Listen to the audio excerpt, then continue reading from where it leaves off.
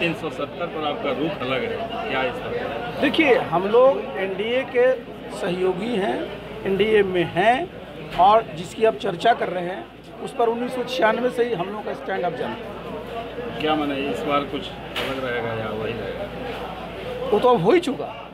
तो अब राज्यसभा में भी हमारे लोगों ने बोल दिया लोकसभा में भी बोले होंगे। पार्टी के अंदर भी सब- कई कई विधायक हैं जो इस बारे में उठा रहे हैं कि ये समर्थन होना चाहिए था। देखिए होता क्या है ना कि व्यक्तिगत राय सबकी हो सकती है लेकिन आप सब जानते हैं कि उन्नीस सौ छियानवे से ही हमारे नेता जो नीतीश बाबू ने और उसमें जॉर्ज साहब थे जॉर्ज फर्नांडिस साहब थे जो एनडीए बना था उसमें उसमें इस मुद्दे पर हम लोगों की अपनी एक राय थी और उस राय से जो भारतीय जनता पार्टी के लोग वो भी अवगत कह रहे हैं सर कि हमारा एनडीए केंद्र में समाप्त हो चुका है। बिहार में भी क्या बिहार में भी इसका असर पड़ेगा क्या? वो क्या है?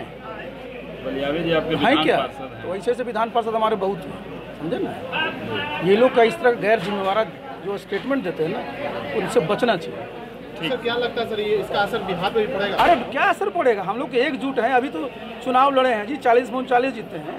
अब तो सैंतालीस पर चुनाव होगा। फिर हम लोग ज़्यादा ज़्यादा जीते कहता है सर कि गुड़ खा रहे हैं गुलगुल्ला से परहेज अरे उनको ना गुड़ बचेगा ना गुलगुल्ला बचने वाला है। एक भी सीट मिली उनको, साफ़ हो गए। तभी जो विधानसभा का चुनाव होगा, उसमें कुछ मिलने वाला है उनको। सब दुकान बंद हो जाएगी।